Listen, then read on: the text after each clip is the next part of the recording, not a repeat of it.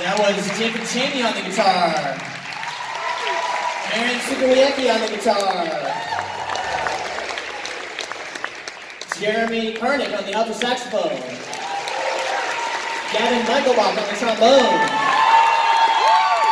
Also had Jonathan Holt on the drum set. Aaron Coulter on bass. And Emma Maltz on the piano. So this next song is going to conclude the uh, first half of the show. We've got a lot of great music on the second half. You definitely don't want to miss. Um,